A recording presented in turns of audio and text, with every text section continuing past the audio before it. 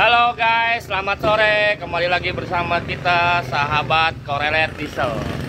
Hari ini kita akan unboxing mesin tempel Matsumoto MOB 830G bersama ownernya langsung ya. Oke, kita bongkar langsung. Ini dia. Halo Ko. Halo guys, Ya. Lagi di channel Korelet Diesel. Hari ini kita mau mengenalkan satu buah mesin perahu tempel dengan tipe MOB 830G 2 tak. Mari kita buka ya guys. Ini kita buka dulu. Mesin tempel ini cocok buat perahu yang besar atau kecil kok? Eh, ini cocoknya untuk perahu yang kecil. Yang kecil ya. Ya, ini perahu-perahu untuk buat mancing. Perahu ya perahu-perahu kecil yang perahu karet. Hmm, Ini namanya bracket. itu bracket itu buat apa itu kok? Bracket ini dia nempel di perahu. Oh, buat nempel Di ya. Perahu nanti mesinnya di sini. Oh, oke oke oke. Nah, ini kita mau keluarin. Ini. Mesinnya sangat kencang sekali dan sangat simpel. Ini mesinnya ya, Ya, ke- jadi kecil ya. dicopot. Nggak terlalu besar ya ini kok ya. Nah, ini sangat kecil. Ini bahan bakarnya dia murni atau campur dia? Bahan bakarnya campur. Campur ya. Ya, bahan bakarnya campur dengan tipe MOB 830G dengan horsepower 3 HP Horsepower Matsumoto. 3 HP ya. Oke ya, seperti oke. yang kita review kemarin dengan tipe 880 GR. Hmm, Oke oke oke. Boleh jelaskan kok tentang impellernya nih, eh, kisi kipas-kipasnya nih. Dia Ya, terbuat kalau- dari bahan apa? Kalau ini dari Ah. terbuat dari bahan namanya bahan babet ya. Bahan babet ya. Iya, Oke. bahan babet. Kalau ini mesin ini dengan kapasitas tangki bensin 1 liter. Dengan liter. dicampur jangan lupa campur oli campuran. Oli campur. Ya. Oh kayak motor ya kok ya, oli Nah, campur ya. Benar sekali. Nah, bedanya nih MOB 830G dengan mesin tempel yang kemarin kita review. Itu bedanya apa nih kok? Eh, ke satu bedanya dia PK-nya lebih besar. PK yang lebih besar. Kedua, yang MOB 880 GR itu dia bisa maju mundur.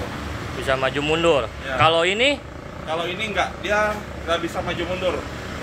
Jadi Ah. kalau misalkan maju mundur, dia cuman dibalik aja. Ini pertama ini misalkan perahunya, Ah. dibalik aja begini.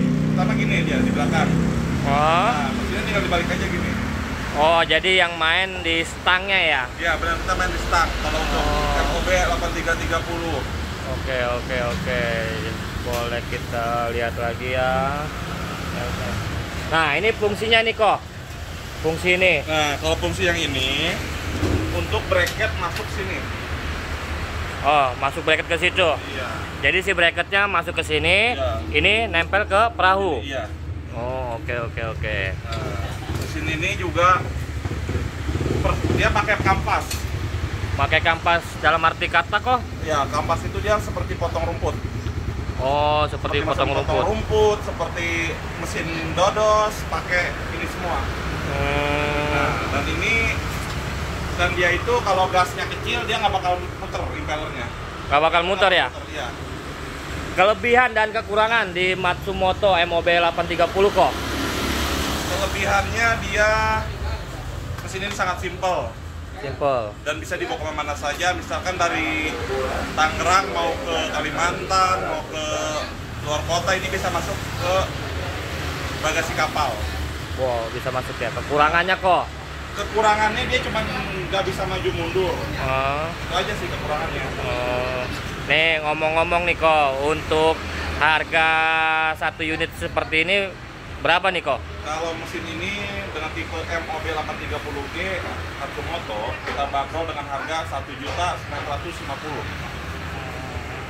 Cukup Dan murah meriah ya. iya spare juga banyak kok ya Sudah banyak di luaran sana kok. banyak spare banyak kita udah melakuin mesin ini sekitar 20 unit Oke, per oke. tiga bulan Kalau kita mau beli jangan lupa belinya di mana kok? di toko Korea Diesel, Atau di online store-nya? Korea Diesel, Dan satu lagi kok. CKG Diesel.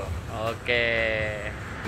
Oke guys, cukup sekian ya dan terima kasih. Cukup cukup ya hari ini untuk reviewnya MOB 830G. Jangan lupa like, subscribe, dan komen di channel kita Korelet Diesel.